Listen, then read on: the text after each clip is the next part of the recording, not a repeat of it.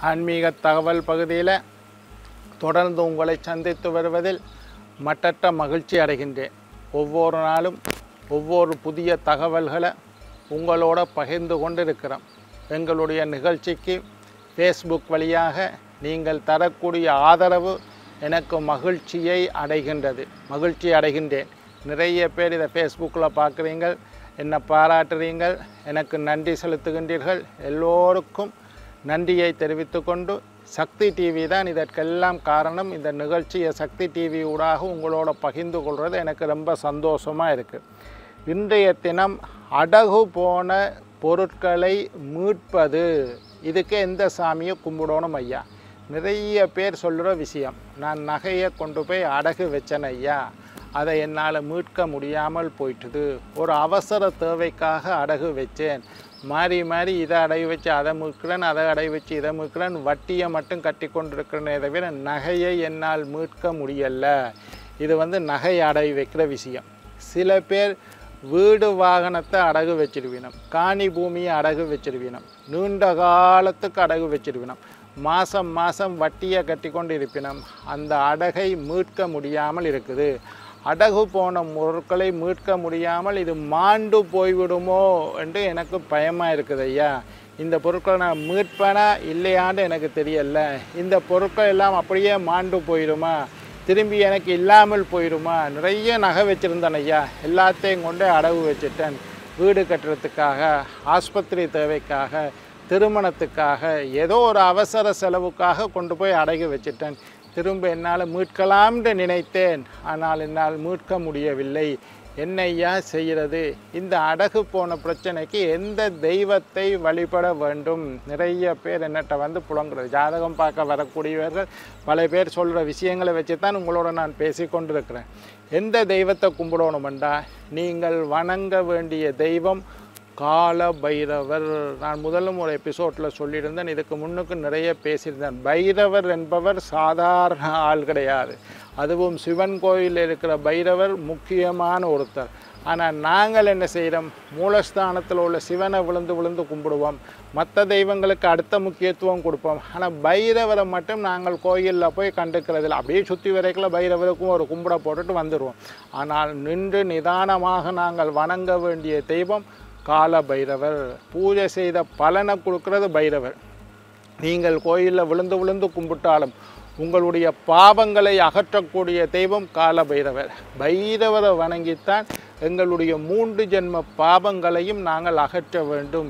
இந்த பிறவியில் செய்த பாவம் போன பிறவியில் செய்த பாவம் அதற்கு முற்பட்ட பிறவிகளில் செய்த பாவம் நாங்கள் செய்த பாவம் எங்களுடைய மூதாதையர்கள் செய்த பாவம் இந்த பூமியில் எங்களுக்கு வாழைக்குள்ள ஏற்பட்ட சாபம் எத்தனையோ சாபங்கள் எங்களுக்கு இருக்கும். நாங்கள் இப்படி ரோட்டில் போய்க்குள்ள ஒருத்தனுக்கு சேர் அள்ளி வீசிட்டு போயிருப்போம். அவன் நாசமாக போடாண்டு ஏசியிருப்பான். அடி வயிற்றுலேருந்து சாபம் போட்டிருப்பான். ஆனால் எங்களுக்கு அவன் சாபம் போட்டதே தெரியாது. இப்படி எத்தனையோ பேர் எங்களை சபித்திருப்பார்கள். சிலது எங்களுக்கு தெரிய நடந்திருக்கும் பலது எங்களுக்கு தெரியாமல் இருக்கும். அந்த சாபங்களை எல்லாம் நீக்கக்கூடிய அற்புத சக்தி வாய்ந்தவர் கால பைரவர் என்றதை மறந்துடக்கூடாது. அதே மாதிரி தான் நாங்கள் கோயிலில் கும்பிடைக்குள்ள அப்படியே சுத்தேக்குள்ள வைரவருக்கும் ஒரு கும்பிட போட்டு வருவோமே தவிர வைரவர்கிட்ட நின்று நிதானமாக என்னுடைய பாபங்கள் சாபங்கள் தோஷங்களை எல்லாம் போக்க வேண்டும் என்று வைரவர்கிட்ட மனமுருகி மன்றாடி நீங்கள் கும்பிட வேண்டும். பலிபீடம்னு ஒன்று இருக்கும் அதில் தான் நாங்கள் செய்த பாவங்களை பலியிட வேண்டும். அப்படியே பிள்ளையாரை கும்பிட்டு மூலஸ்தானத்தை கும்பிட்டு அம்பாளை கும்பிட்டு பரிவார தெய்வங்களை கும்பிட்டு கோஷ்டத்தில் உள்ள தெய்வங்களெல்லாம் கும்பிட்டு நவக்கிரகங்களையும் கும்பிட்டதுக்கு பிறகு கடைசியாக இருப்பார் பைரவன் அவர்கிட்ட தான் போய் வடிவாக கும்பிடணும்.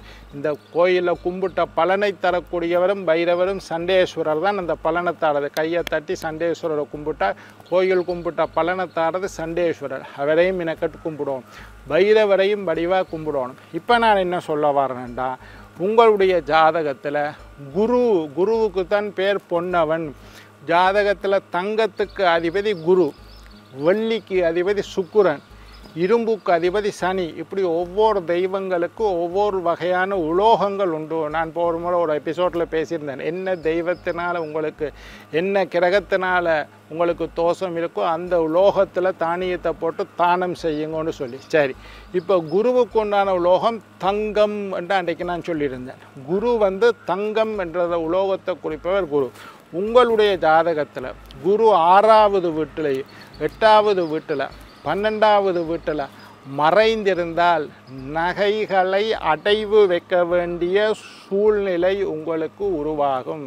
உங்களோட ஜாதகத்தை டக்கண்டிடுங்கோ ஆறாவது வீட்டில் குரு இருக்காரா? லக்னத்தில் ஒன் லக்னம்ன்றது ஒன்றாவது வீடு ரெண்டாவது வீடு. மூன்று நாலு அஞ்சு ஆறில் குரு இருக்காரா? அசல் பழங்களின் சாற்றுடன் கெஸ்ட் ஃபன் ஃப்ரூட் நெக்டார் எப்பவும் ஃபன் அல்லது எட்டாவது வீட்டில் குரு இருக்காரா? அல்லது பன்னெண்டாவது வீட்டில் குரு இருக்காரா? இந்த மூன்று மறைவு ஸ்தானம் முக்கியம் ஆறு மட்டும். இதில் குரு மறைந்திருந்தால் உங்களுக்கு நகைகளை தங்கத்தை அடைவு வைக்க வேண்டிய சூழ்நிலை உருவாகும். அதை திரும்ப எடுக்கிறதுக்கு கொஞ்சம் கஷ்டப்படுவீங்கள். சரி இன்னொரு கதையும் சொல்லித்தாரன். உங்களுடைய ஜாதகத்தில் செவ்வாய் பகவான் அவர் ஆறு எட்டு பன்னெண்டில் மறைந்திருந்தால் செவ்வாய் ஆறாவது வீட்டில் இருந்தால் பன்னெண்டாவது வீட்டில் இருந்தால் எட்டாவது வீடு. இந்த மறைவு ஸ்தானத்தில் செவ்வாய் இருந்தால் காணி பூமி அசையா சொத்துக்கள் இதுகளை அடைவு வைக்க வேண்டிய சூழ்நிலை உங்களுக்கு உருவாகும். காணி அடைவு வச்சுட்டேன் என்னுடைய வாகனத்தை அடைவு வச்சுட்டேன். ஆட்டோ வச்சிருந்தேன் ஆட்டோ புஸ்தகத்தை கொடுத்து காசு வாங்கிட்டேன். திரும்பி அதை மீட்க முடியல. என்னுடைய வாகனத்தை கொடுத்து காசு வாங்கிட்டேன். என்னுடைய காணி என்னுடைய வீடு என்னுடைய பூமி இதெல்லாம் அடைவு வைக்க வேண்டிய சூழ்நிலை செவ்வாய் ஆறு எட்டு பன்னெண்டில் இருந்தால் குரு ஆறு எட்டு பன்னெண்டில் இருந்தால் நகைகளை அடைவு வைக்க வேண்டியது. செவ்வாய் வந்து பூமிக்கு அதிபதி. அதனால் பூமி அடைவு வைக்க வேண்டும் இதுக்கு என்ன செய்யணும்டா? மூன்று பௌர்ணமி அருகில் உள்ள சிவன் ஆலயத்திற்கு செல்லுங்கள். மூன்று பௌர்ணமி. நீங்கள் எங்கே வசிக்கிறீங்களோ நீங்கள் வசிக்கிற இடத்துக்கு பக்கத்தில் நியரஸ்ட் எங்கே சிவன் கோயில் இருக்கோ அந்த கோயிலுக்கு போங்க. அந்த கோயிலுக்கும் உங்களுக்கு நீங்கள் வசிக்கிற இடத்துக்கு பக்கத்தில் உள்ள சிவன் கோயிலுக்கும் உங்களுக்கும் ஒரு தொடர்பு உண்டு ஆத்மார்த்தமான தொடர்பு.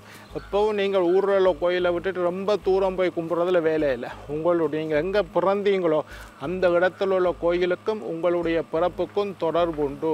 நீங்கள் இந்த பூமியில் எங்கே வேணும்னாலும் பிறந்திருக்கலாம். அந்த கோயிலுக்கு பக்கத்தில் பிறந்ததுனால அந்த கோயிலினுடைய தெய்வத்திற்கும் உங்களுக்கும் தொடர்பு உண்டு. சரி மூன்று பௌர்ணமி. அருகில் உள்ள சிவன் கோயிலுக்கு போய் அங்கே இருக்கக்கூடிய காலபைரவரை பயத்தோட பக்தியோட நம்பிக்கையோட வணங்கி வந்தால் நீங்கள் அடைவு வைத்த பொருட்களை மீட்டெடுக்கலாம். இப்போ கேள்வி இதுதான். அடைவு வைத்த பொருட்களை மீட்க முடியலையா? எந்த சாமியை கும்பிட்றது? கும்பிட வேண்டிய தெய்வம் காலபைரவர்.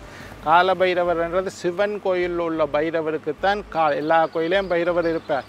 ஆனால் சிவன் கோயிலில் இருக்கிற பைரவரைத்தான் கால பைரவர் என்று சொல்வது கால பைரவர் எங்கள் பாபங்களை போக்கக்கூடிய அற்புதமான சக்தி படைத்தவர். அப்போ இனி என்ன செய்கிறீங்க யார் யார் நகையை அடைவு வச்சுருக்கீங்களோ?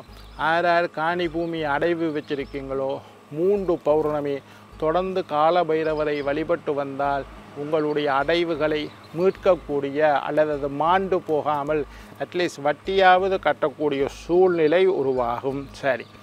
பகை உள்ளவர்கள் எப்போ பார்த்தாலும் எனக்கு யாரோடையாவது சண்டை வந்து கொண்டே இருக்குது ஐயா. எனக்கு மாறி மாறி எதிரிகளினால் தொல்லை ஏற்பட்டு கொண்டே இருக்குது. பகைவர்கள் என்னை அச்சுறுத்தி கொண்டே இருக்கின்றார்கள். பகையிலிருந்து எனக்கு மீள முடியல. ஒருத்தனோட சமாதானமாயின அடுத்தவனோட சண்டை. மாறி மாறி சண்டையும் எதிரிகளும் எனக்கு பிரச்சனை. ஏழு வர்ணம் உள்ள கயிறை வலது கையில் கட்டினால் பகைவர்களினால் துன்பம் வராது. ஏழு கலர் இருக்கணும். சிகப்பு இருக்கணும் மஞ்சள் இருக்கணும் பச்சை இருக்கணும். அப்படி ஏழு வர்ணங்களுடைய நிற ஏழு நிறமுடைய கயிறை வலது கையில் நீங்கள் கட்டினீர்களாக இருந்தால் அது இப்போ நீங்கள் பேசக்குள்ளே வெளியில் போய்க்குள்ள அந்த ஏழு கலரும் மற்றவர்களுக்கு தெரியணும். அந்த மாதிரி ஒரு கயிறு ஏழு வர்ண நூலை வலது கை மணிக்கட்டில் கட்டி கொண்டால் பகைவர்களினால் வரக்கூடிய துன்பம் நீங்கும். இது இன்னொரு விஷயம். இன்னொரு விஷயத்தையும் என்னட்டு அடிக்கடி ஜாதகம் பார்க்க வாராக்கள் வாடுது ஐயா பேய் பிடிச்சது போல இருக்குது. மனநிலை பாதிக்கப்பட்டு இருக்குது. ராவுல கத்துது எலும்பி நடக்குது. இந்த பொம்பளை புள்ள அடங்குது இல்லை. பேய் பிடிச்ச மாதிரி இருக்குது. துடீர் துடீர்னு எழும்புது. கோயிலுக்கு வந்தால் கத்துது சாமி ஆடுது இந்த மாதிரி இருக்கக்கூடியவர்களுக்கு ஏழு வகையான எண்ணெய். மரதாணி வந்து இந்த பேயை விரட்டக்கூடிய ஒரு ஆட்பம் பேய் என்று சொல்கிறத விட தீய சக்திகள் கெட்ட சக்திகள் சில பேருக்குள்ளே பூந்துடும் அதை நீங்கள் பார்த்தா தான் தெரியும். சில பேருக்கு இதில் நம்பிக்கை இல்லை. ஆனால் அனுபவித்து பார்த்தா தெரியும். தீய சக்திகள் சில பேர்களுக்கு பூந்தோன்னு ஆ ஊ ஒன்று கத்துறது கனவுல எழும்பி நடக்கிறது டெய்லி கனவு காண்றது விகாரமான சத்தங்களை போடுறது சம்பந்தம் இல்லாமல் பேசுறது பொருள்களை அடித்து உடைக்கிறது ஆக்களோட சண்டைக்கு போடுறது தலையை விரித்து போட்டு ஆடுறது சுற்றுறது துள்ளுறது குதிக்கிறது இது மாதிரியெல்லாம் பேய் பிடிச்சது. இதுக்கு என்ன செய்யணும்? ஐந்து வகையான எண்ணெயோட மரதாணியையும் சேர்த்து தைலம் காய்ச்சி அவர்களுடைய தலையிலையும் மேலேயும் பூசி விட்டால் இந்த பேயாட்டம் எல்லாம் அடங்கிவிடும். என்ன நேர்களே நாளை மற்றொரு நிகழ்ச்சியில் உங்களை சந்திக்கும் வரை உங்களிடமிருந்து விடைபெறுவது உங்கள் ஜோதிட சித்தர் டாக்டர் ராஜராஜ குருக்கள்.